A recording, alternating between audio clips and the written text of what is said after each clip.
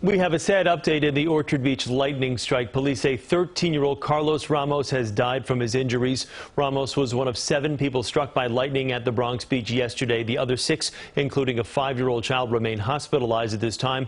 The Parks Department says the group was sitting in the sand when they were hit during a fast-moving storm. In a statement, the Parks Department said they did give warning, saying, quote, prior to the incident, lifeguards had cleared all swimmers from the water, and park staff made announcements over the public address system instructing patrons to clear the beach.